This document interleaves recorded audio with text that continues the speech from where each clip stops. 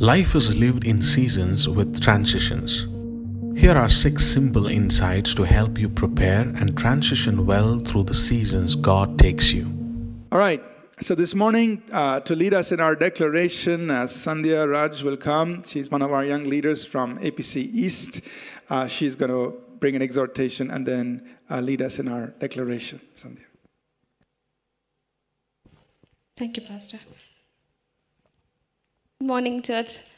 Uh, I'm super nervous. Please excuse me. My voice shakes. Uh, and a warm welcome to everyone who's watching us online. Um, 2020, uh, the last Sunday of the year, what a year it has been. It has forced us to do our own dishes, clean our own homes, spend a lot of time with our families. And it has also um, broken a lot of securities that we thought uh, are going to keep us safe. Um, our life, life insurances did not cover things that we wanted it to cover. Uh, some of us lost our jobs, some of us lost our promotions that we thought is going to secure our life. But one thing that stood firm um, in all of this is God's promises and His faithfulness. Let's read um, this one verse from Hebrews chapter 10 and verse 23. Let us hold fast the confession of our hope without wavering, for he who promised is faithful. It's very clear that God is telling us to hold fast for the confession, not because of our might, not because we can hold fast to our confession, but because he who promised is faithful. Um, I think one verse that trended uh, in 2020 is um, A thousand may fall on your side and 10,000 on your right, and nothing shall come near you. Well, I, don't think we should wait for um, a 2020 to happen for us to hold on to God's promises or declare such verses. God gave this verse to us thousands of years ago, even before He knew or we knew that COVID was going to happen or some disaster of this sort is going to happen. But the promise that we use, the promise verse that we use, is already there in the Word of God. And today, I just want to reiterate that everything that we need, I don't know what is what 2021 is going to hold for us. I don't know what the next hour is going to hold for us. Is this mic going to work? Is pastor going to preach? I know not anything. But one thing is for sure is God's promises is already there for any situation that arises. Be it 2020, another um, uh, another year of staying at home, another year of fighting our battles, or another year of blessings. Our thankfulness, our blessings, our promises, everything's already available to us. And I think we should take hold of it and confess it with boldness and say that our God is always available for us and He is going to keep our promises because He's faithful.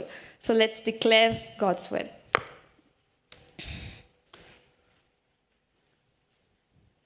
Hold our Bibles high up in the air for 2021, a beautiful year. This is God's word. This is God speaking to me. I am who God says I am. I can do what God says I can do.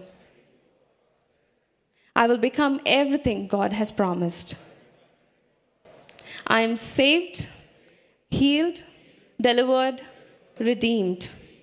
I am blessed, victorious, prosperous, triumphant. I'm a minister of God, a servant of Christ, and a channel of His blessing to many people. I receive His word, I believe His word, and I live by His word. Christ is my master, and to Him I am in absolute surrender. I present myself as a new wineskin to receive the new wine and fresh oil being poured out on me. God releases new things and a new work of His Spirit in me and through me. In Jesus' name, amen.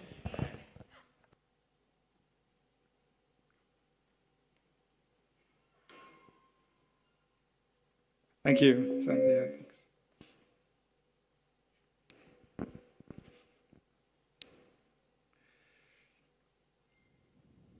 All right. Just before we get into God's word, there's just a quick word of testimony. Um, so this is from a, a, young lady, and I'm not, I'm not, necessarily giving all the details here, but um, in 2015, uh, the doctor had um, informed her that she will not have children uh, due to medical conditions. And uh, she's not from a Christian family, uh, but she was praying to Jesus. And uh, what happened was last year, this 2019 Christmas, uh, she came to our Christmas service. So we were in the other building, uh, 2019. Uh, she came for Christmas Day service, and at the service, she prayed and said, Lord, by next Christmas, I want to come for the Christmas service, either pregnant or with a baby. And last Sunday, she and her husband came. They didn't come inside the service, they were outside with the baby, two and a half months old. And uh, they came, they said, You know, we want you to pray, we want you to dedicate uh, the child uh, in the name of Jesus. And so uh, they waited outside uh, at the, at, the, end of the service. We went out there and, and just prayed. So I'm just, uh, I just wanted to share that testimony and uh, just to know, share with you the, the goodness of God in their lives. Um, you know, typically at the end of the year, we invite people to share their testimonies of God's faithfulness in their lives through the course of the year. Also, the word of the Lord that we release at the beginning of the year. If you have testimonies that uh, that relate to that, you could um, uh, email that to me. So we have received some uh, others. If you want to, you're welcome to email your testimonies. You just have to send it to testimony at apcwo.org. And uh, now we will try to share a summary of as many testimonies as we can on, uh, on uh, January 1st service. but you know, we may not be able to cover all the testimonies. We'll do the best we can. However, it's good that you share you know, about the goodness of God, whatever God's done in your life. So we encourage you to do that. All right, this morning, I want to just talk to us uh, briefly about transitioning. All of us um, recognize that you know life is lived in seasons with transitions. So you want to just summarize how do you live life? You live life in seasons with transitions. Transitions are an unavoidable, inevitable part of our journey through life. And what do we mean by transitions? It means moving from one stage to another. We all have to do that.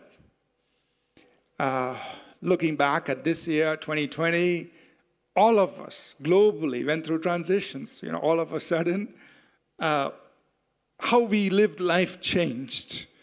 And so we went under or went into a lot of restrictions. Happened globally, transition. And then uh, we are beginning, and I'm not saying it's over, so don't misquote what I'm saying. I'm just saying we're beginning, in some sense, to come out of that life under restrictions. We've been able to now open up our services, have uh, you know attendance to some measure, and to some measure, slowly beginning to transition out of uh, a life that was under a lot of restrictions and so on. So again, we're making transitions. The end of a calendar year and the beginning of another calendar year again signifies transition. For some of us, makes no difference. It's just another day. You go to sleep on 31st, you wake up on 1st. No big deal. But for some of us, of others, 2020 might be a big year of transition because probably you're going to get married. 2021. Probably you're going to move from uh, college into the workplace or some other uh, major transition awaiting you in 2021. So, waking up on January 1st, 2021 is a big deal. It's like, hmm, this is that year. that that is going to happen in my life. Something big is going to happen. I like this, you know, all kinds of transitions that we journey through. Typically, you go through school, school to college is a transition, college to workplace is a transition, singlehood to being married is a transition. Uh, going sometimes from one job to another is a transition. Relocating from one city to another is a transition. All of these are transitions in life that many of us will experience, will go through. And uh, sometimes there are some transitions that happen because of difficult situations. Like Sandhya mentioned, a loss of a job. That's a difficult situation. It forces people into a transition. You, what's next? You've got to think of it. The loss of a loved one is a difficult transition. You've journeyed together and there's a full stop in their life. You have to continue. That's a transition. Uh, and there are other difficult situations where uh, we have to transition. We have to move, keep moving. The beautiful thing is this the Bible tells us our times are in God's hands. That's Psalm 31, verse 15. So let's all say that together. My times are in His hands. Know, when you say times, it means all the seasons of life with the transitions included are in His hands. My times, that means my seasons and the transitions, are in His hands. Your life are in His hands. And uh, Daniel chapter 2 and verse 21, Daniel says, He changes times and seasons. Not the sun, the moon, or the stars. God changes times and seasons. Our times are in His hands, and God, whether in your individual life or in the life of a local church or in the life of a nation or in the life of nations, God orchestrates changes of times and seasons. So, you know, as believers, we can uh, be in this place of uh, comfort or strength or confidence, even through transitions, knowing that our times, our seasons, and transitions are in the hands of our God. And that's beautiful. That's wonderful to know that the transitions of our lives are in His hands. Now, you know, for some people, transition is like no problem. They pack up and move. It's very easy for them, doesn't bother them. But there is also a danger in that. For example, if you have too many transitions in your job, when you go for your next interview, they say, hey, how come in five years you've changed so many jobs? Right? So that could be a problem if you have too many transitions. And so you got to be a little careful. But for others, transitions can be a very difficult thing. They find it difficult to let go because they're so uh, comfortable with what is there, or they find it very scary, very uh, fearful of stepping into the unknown. Oh, I don't know what awaits me. And so, transitions for some people can be a very difficult thing, a very painful experience for themselves, and then they make it very painful for everybody else around them. So, what I want us to do today is just to consider a few insights from Scripture that will help us prepare and transition well in life. Transitions are unavoidable, they're inevitable, they will happen. But you and I can learn how to transition well. Are you with me so far? So the message is very simple. Just few insights on how to transition well. Some things that you and I can do, uh, especially as you're preparing for a new year, uh, looking to transition, and then we, you know, we don't know what awaits us all in 2021. But if there are going to be transitions in your life, here are some things that you could use uh, to transition well. So, there are many scriptures that we could go to to you know draw insights on transitioning. And uh, one of the classic texts is in Joshua chapter 1. So we're going to go to Joshua chapter 1. We're going to read the first 11 verses because here is a transition point in the life of a man called Joshua. For about 40 years, he's been working or serving along or under Moses. It's been great. Moses is in charge, and you know, Joshua's just right there along serving with Moses, 40 years, about 40 years. But now, transition's happening. Moses is dead. Now, just before Moses died, and you read about this in uh, Numbers chapter 27, uh, just before Moses died, Moses appointed Joshua as his successor, and a few months after that, he died. So, transition's happening. And we will let's look at rec- that record in Joshua chapter 1. We'll read verses 1 through 11 and then just draw some insights from here. So we're going to read the entire passage. Please follow along with me uh, in your Bibles, and or I think the scriptures will also come up on the screen. After the death of Moses, the servant of the Lord, it came to pass that the Lord spoke to Joshua, the son of Nun, Moses' assistant, saying, Moses, my servant, is dead. Now, therefore, arise, go over this Jordan, you and all this people, to the land which I am giving to them, the children of Israel. Every place that the sole of your foot will tread upon, I have given you, as I said to Moses. From the wilderness and this Lebanon, as far as the great river, the river Euphrates, all the land of the Hittites, and to the great sea, toward the going down of the sun, shall be your territory. No man shall be able to stand before you all the days of your life. As I was with Moses, so I will be with you. I will not leave you nor forsake you. Be strong and of, a good, of, and of good courage, for to this people you shall divide as an inheritance the land which I swore to their fathers to give them. Only be strong and very courageous, that you may observe to do according to all that the, all the law which Moses my servant commanded you. Do not turn from it to the right hand or to the left, that you may prosper wherever you go. This book of the law shall not depart from your mouth, but, but you shall meditate in it day and night, that you may observe to do according to all that is written in it. For then you will make your way prosperous, and then you will have good success. Have I not commanded you? Be strong and of good courage. Do not be afraid, nor be dismayed, for the Lord your God is with you wherever you go.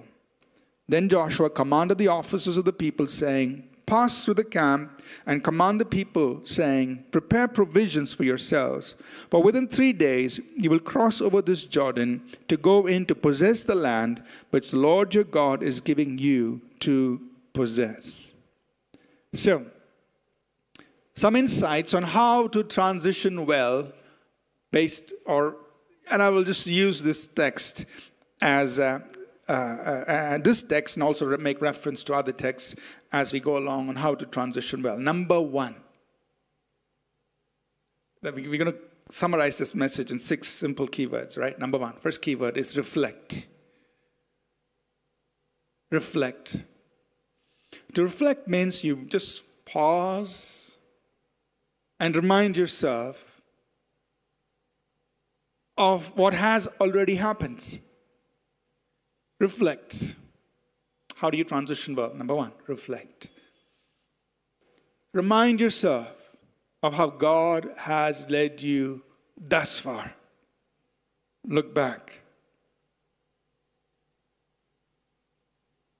God told Joshua, Joshua, it's time for you to transition one of the things I want you to remember is this as I was with Moses, so I will be with you.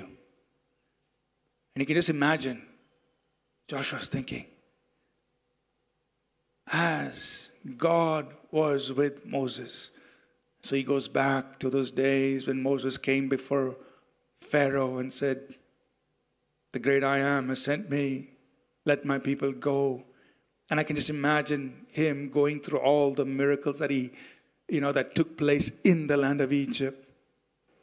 He goes through what happened on that first Passover night. Wow, what an amazing thing happened. He goes through the crossing of the Red Sea. He goes through all the all the things he saw, those these, these you know 30, 40 years, 39, 40 years in the wilderness.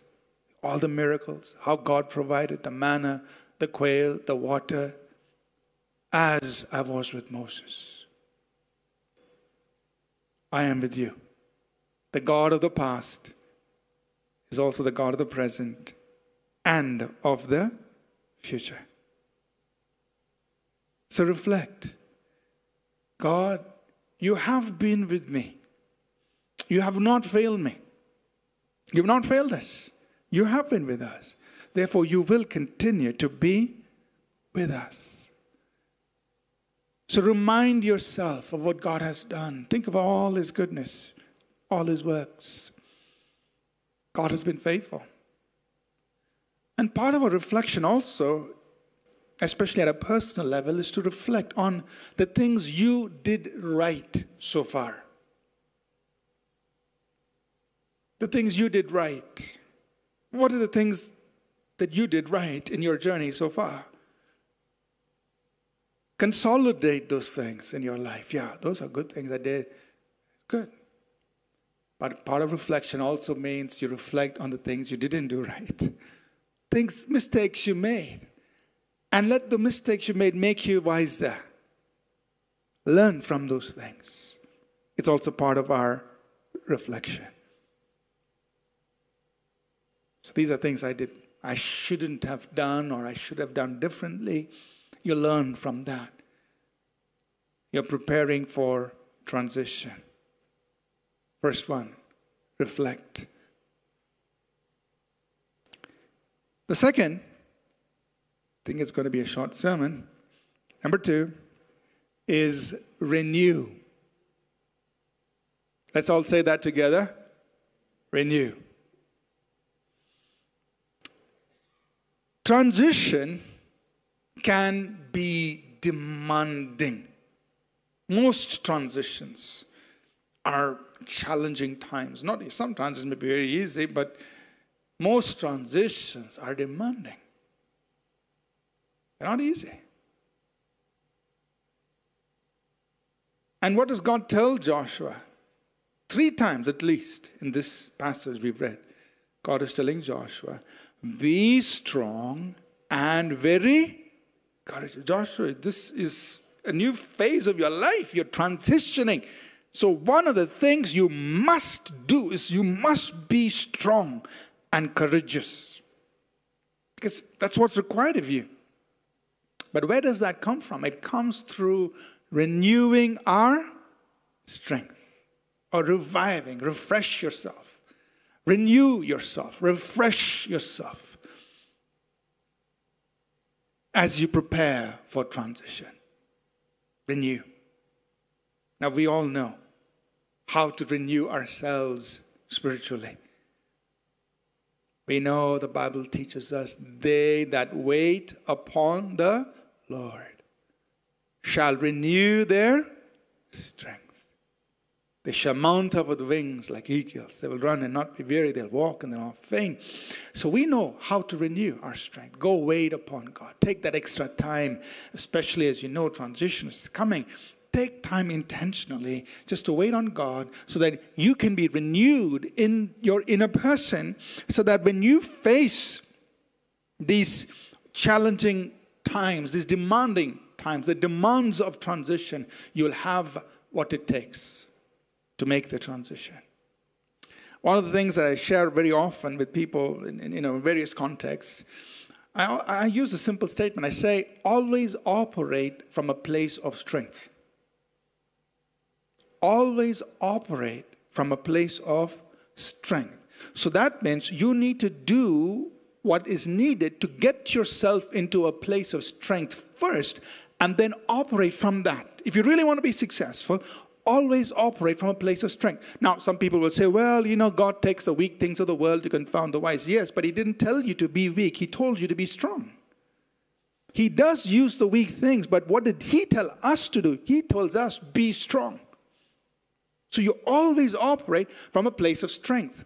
So, what does that mean? How does it translate to practice? For example, if you're planning to get married, one of the things you need to do is be financially strong. I have no money, but I have love and fresh air. I want to get married. Tell that to your spouse. so, what do you do? First, put yourself financially in a place of strength. Because that's what is required once you get into marriage. Just, just example. Or whatever it takes. I want to start a business. Okay, Great, that's a great idea. You want to have a business, but first put your place, if you want to really be successful, put yourself in a place of strength to start that business. What, does, what does that mean? It may mean you, you know, of course, you need finances to start a business, but you may need certain skills, you may need certain network, whatever you need. Put yourself in a place of strength, then start. But in order to get there, you need to renew. Are you listening? Renew. Be strong and very courageous. Because transition demands that. You've got to put yourself in that place of strength. The third word that I want to use here that will help us in transition, how to transition well, is to refocus. Refocus. So, what's the first one? Reflect. Second, renew. Third, refocus. Now, what happens is sometimes in the situations leading up to a transition, or while you're going through a transition, our focus can get shifted. As a focus on the main thing, you begin to shift focus. Or our focus can get blurred. You're not seeing clearly because of those situations leading up to the transition or in the transition. Your vision gets blurred. And so we need to refocus. You know, it's like whether it's your camera, whether it's just your visual, you know, okay, let me see that again clearly. I want to see that clearly. So refocus. And that's what happened to the people of Israel. You know earlier on that they took their eyes off the promises of God and put their eyes on the giants. And they said, God, there are giants in the land. The focus shifted. And so they lost 39 years.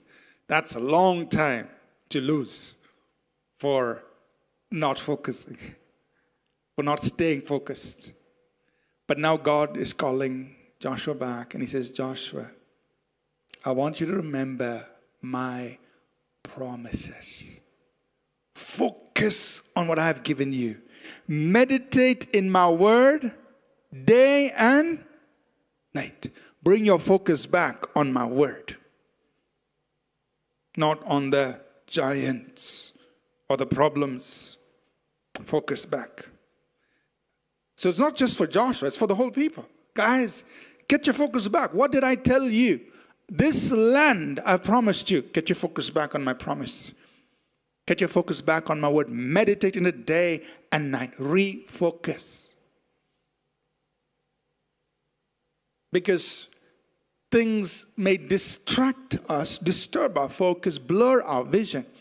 Now, you know, in, in, in Matthew chapter 6, verses I think it's verses 22 and 23, uh, Jesus uses the analogy of the human body to teach us something about vision. He says, The lamp of the body is the eye. That means what gives light to you as a person is your vision. If the eye is good, the body is full of light. That means if you have a clear vision, you have light. Light means you can walk in, you know the way in which you walk. But if the eye is bad, the whole body is full of darkness. That means if you don't have a clear vision, your walking is like somebody walking in darkness.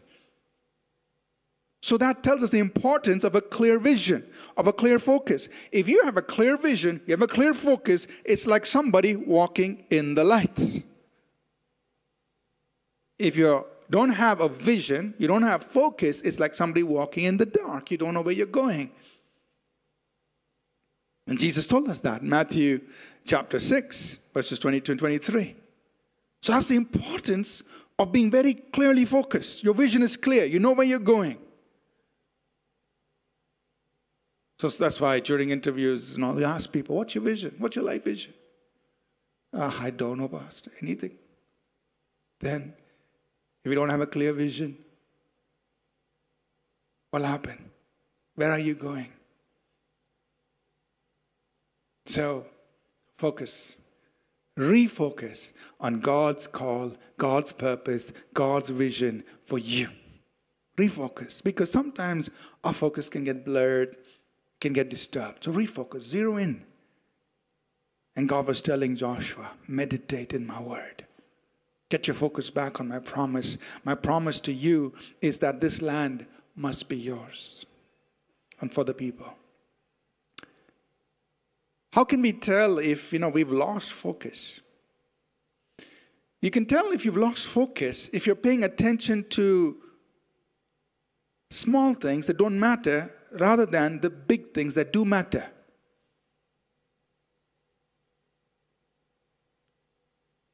That means you're distracted. Instead of focusing on the big thing, the main thing, you're occupying yourself with lots of small things. You're busy you're busy with the things that don't matter. You've lost focus. So, busyness itself is not an indication of focus. So, don't say, I'm busy. What are you busy with? Are you busy with the main thing or are you busy with lots of small, small, small things? If you're busy with a lot of small things, these are not the main thing. You've lost focus. Get your focus back. What's the main thing?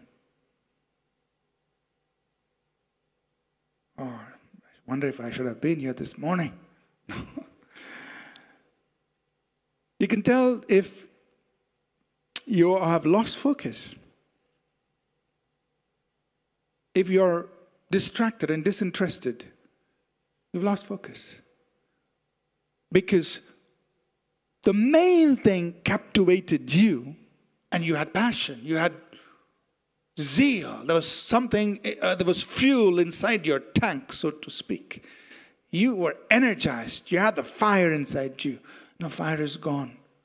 The tank is empty. No energy, no zest. Focus.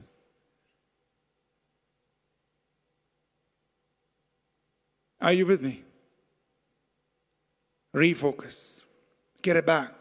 And God was telling Joshua, Joshua, you got to focus. You know, it's important in, in the life of the kingdom. There are some priorities. Jesus put it like this in Matthew 6:33. He said, "Seek first the kingdom of God." So there's a focus involved. First must be God's kingdom and his righteousness. Focus. There's a very interesting prayer in Psalm 119, verse 37. It's, uh, I didn't include it in the PowerPoint, so uh, I'll just read it for us. Psalm 119, verse 37. The psalmist prays like this He says, Turn my eyes away from looking at worthless things and revive me in your way. So let's all say that together. Turn my eyes away from looking at worthless things and revive me in your way. Let's say it one more time. Turn my eyes away from looking at worthless things and revive me in your way. Very interesting prayer. God, get my focus off of unnecessary things, worthless things. And revive me in your way.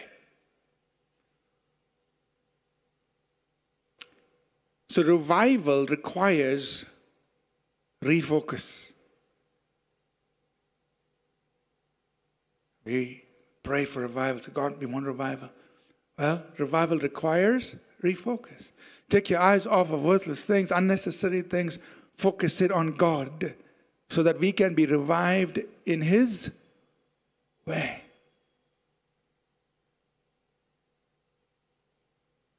So take my eyes off unnecessary things. Focus, refocus on what's important. So we need to check up on our vision. Uh, we need to clear out things, in the interfere our vision, and realign, refocus on our primary assignment. Number number four, just a few more things here. Number four is realign. Realign. That means come back into alignment to the main path. You know, and uh, you can try to imagine this. Even if you, you know, even it's a few degrees, if you imagine a straight line, uh, okay, that's a little drawing there. Imagine a straight line, and just you start off with just a few degrees away, just 10 degrees away. Okay? The deviation is very small in the beginning. But you keep going on that 10 degree deviation for a long time, just keep journeying on that. Soon we will find that we are way off from the original path. The deviation gets bigger. It's just a small 10 degree variation. You're way off now because you've journeyed a long time. So, realignment means I need to get back to the original path. God's plan, God's purpose for your life. Get back to it. Realign. And that's what happened to the people of Israel. They came so close to the promised land, they were on the east side of Jordan. All they had to do was cross the river, and they were stepping into the land of promise. So, as part of that, they said, you know, send the people to 10 spy, uh, 12 spies to survey the land, come back. But then what happened? They got distracted. And instead of going in and possessing the land, they started, they went back. And then they, all they did was they were circling around Mount Seir for 39 years. Now, it was a mountain range, Mount Seir, about 70 kilometers north to south, 30 kilometers east to west. So they kept circling that for 39 years, round and round the same mountain range. Sceneries were changing. Fruits here, there, all those things. Scenery was changing, but their location was not where they should have been. 39 years gone.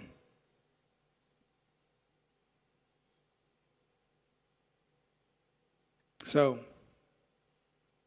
God tells Joshua very clearly Joshua, I want you to go and set foot in the land. And every land that the sole of your feet will walk on, I've given it to you. That's, you need to get back to that. And he's once again giving Joshua clear indications. That's the territory from the river Euphrates in the north to the great river Nile in the south. This is the place I want you. You need to get in there, get aligned to my plan. So, as you are, and you and I are preparing for transition, if there have been areas in our lives where we have deviated from God's original plan, realign. Realign. Get back into it. And once again, sometimes the pressure of preparing for transition or going through transition can distract us. So we constantly look and say, oh, God, where am I? Where do I need to realign? And you know what God tells Joshua? He says, Joshua, don't turn from my word either to the left or to the right. Zero degree tolerance absolute precision required. Stay on course. Not to the left, not to the right. Stay on the original path, my word. Get into alignment. Are you with me this morning? Realign. Get back. Take some time to think God, are there areas of my life I may have shifted a little bit here, a little bit there? I need to get back into alignment. What does God want for my life? Realign. Last two things, finish very quickly. Number five is reposition. Look, let's review. What was number one? Reflect. Number two? Number three? Number four? And number five, reposition. Reposition means go from one position into the next. Reposition yourself. Because transition most often requires repositioning. That's what transition is about. Repositioning your life. You were here, now you've got to go there. And that's what happened with Joshua. Like we said, for about 40 years, he was a follower. Now God is saying, that role is changing. From today, you are the leader. You have to reposition yourself. You can't be behind somebody, you have to be the one in front. Reposition. And so, transition often requires repositioning. And you and I have to reposition ourselves for that transition.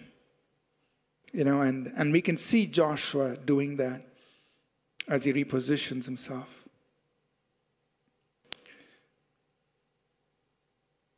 But this is difficult, like we said in the beginning, for some of us. Because you have to let go of what is comfortable and you've got to step into what is unknown. But you and I can prepare well. And in Joshua's case, we could say that maybe he had the opportunity to prepare himself for 40 years. Maybe, we don't know. But definitely, from the time that Moses appointed him as a leader, he must have been thinking, boy, now no turning back. I have to step in one day. I have to do this. And he may have had at least those eight months probably to prepare himself, that time from his appointment to the time Moses died. At least that time he had, if not longer. Prepare himself to reposition. Now, repositioning can be very important, and we I'll just reference a few examples in the Bible. One example is that of Elijah, and you read about this in 1 Kings chapter 17, verses 1 through 9. God's word came to Elijah and said, Elijah, go to the brook Cherith. I will take care of you there. So he goes there, and just so amazing, a raven comes and feeds him. And he has water to drink. And this is famine. But Elijah is taken care of. God is supernaturally providing for Elijah at that time. But then the brook dries up. I'm, and I'm imagining the raven stops coming.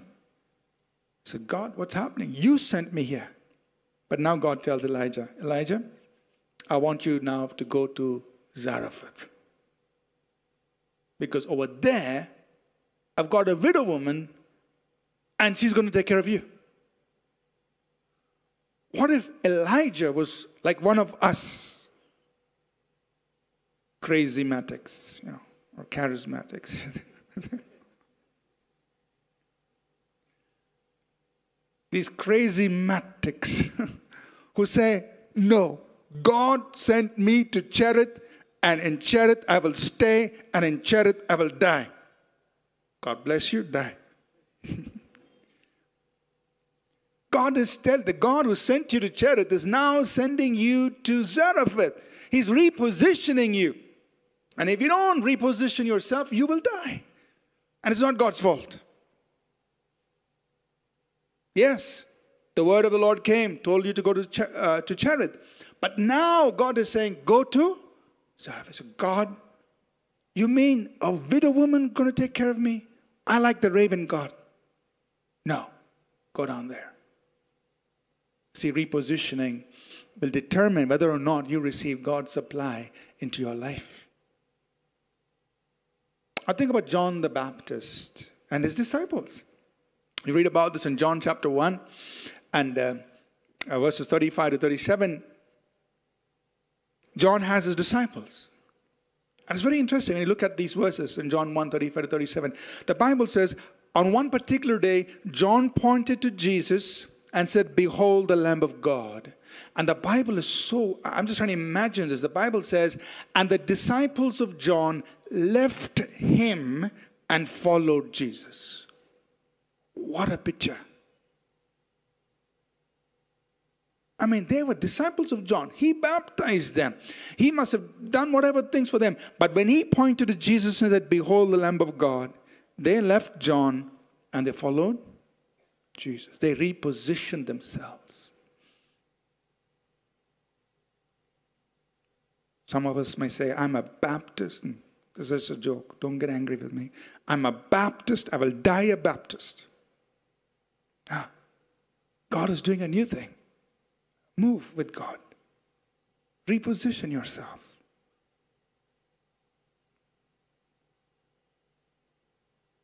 We have to learn to let go of the past, step into the new thing God is doing, so we can journey with God. Are you with me?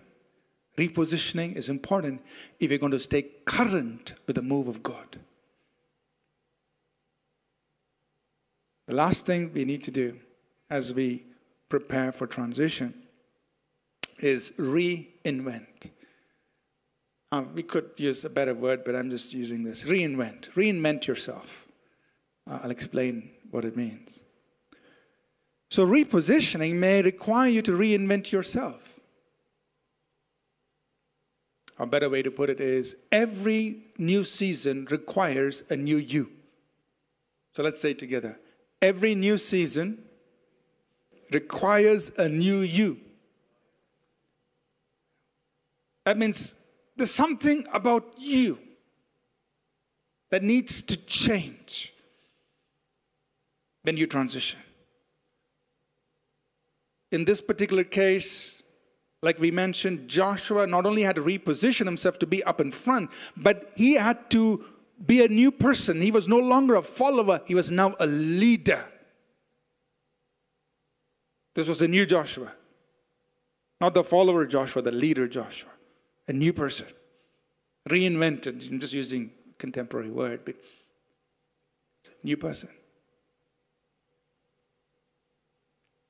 And so repositioning requires you and me to be different than from what we were before.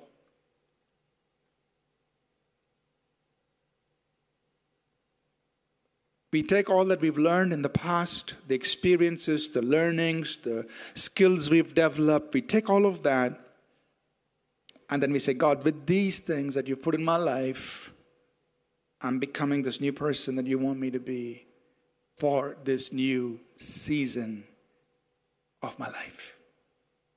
Because every new season requires a new you. Something has to change in your life and mine to match the season into which God is bringing us. You can't be the same old person. So reinvent yourself. Sometimes we may need to intentionally acquire new skills, learn new things, etc., so that we could be what God wants us to be. So let's quickly review these six things and then we will pray. Worship team, you can come up, please. So, how do we transition well? Number one, let's go, to, go through it together. Reflect, renew, refocus, realign, reposition, reinvent. And we can see all of these things. And I, I know I've used contemporary words, and, but we can see all of this in this passage here. That's how God tells Joshua Joshua, get ready for this new assignment, for this new thing, for this this, this new season of your life. Things have changed. You've got to transition into this. And here are some insights. I'm not saying this is everything, but some things that will help us as we transition.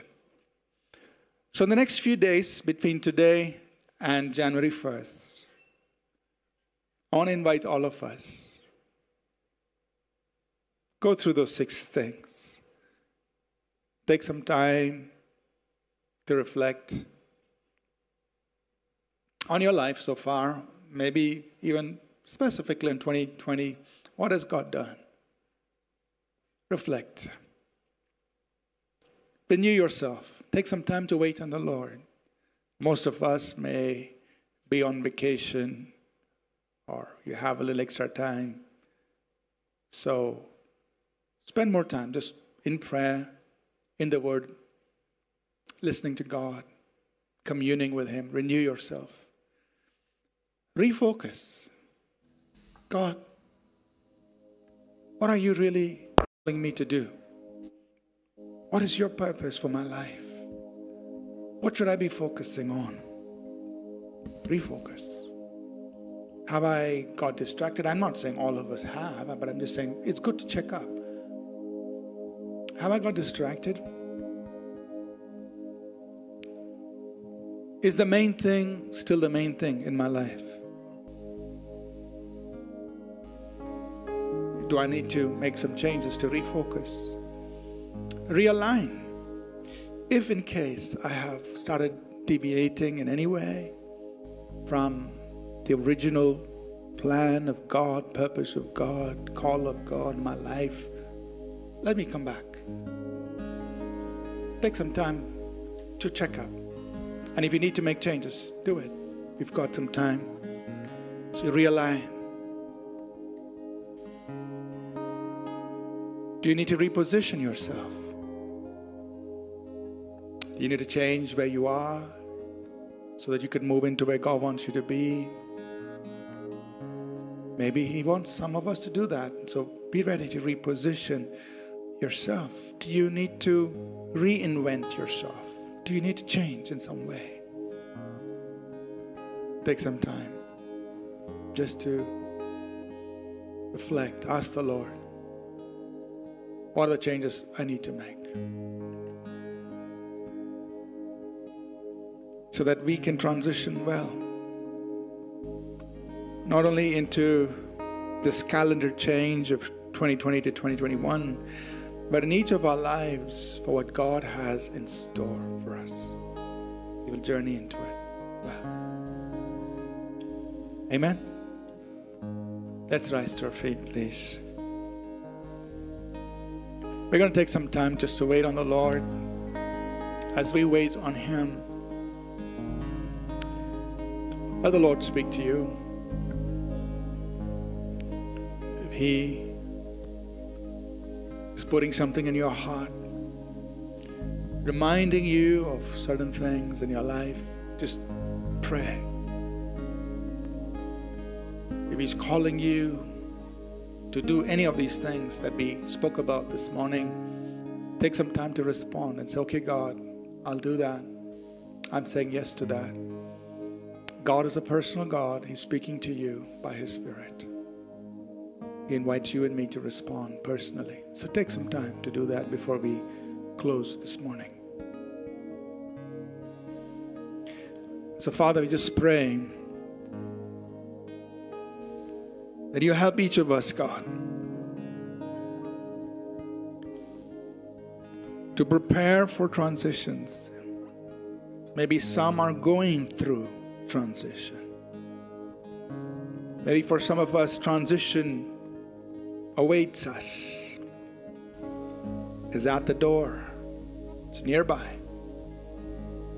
Help us to be aware, to recognize, to prepare ourselves so that we can transition well.